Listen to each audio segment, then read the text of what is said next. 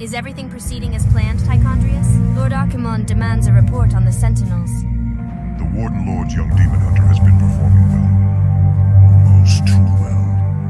I begin to wonder if Ner'zhul has ulterior motives for his new champion. The human means nothing in the long run. Ner'zhul wouldn't dare undermine our efforts now. Concern is that the Sentinels accomplish what they were created to do. Archimonde will have all our heads if we do not keep control of this situation. Believe me, sister. Neither the Warden Lord nor his elven lackeys will jeopardize the Legion's return. See that they do not. Lord Archimonde has little patience for failure.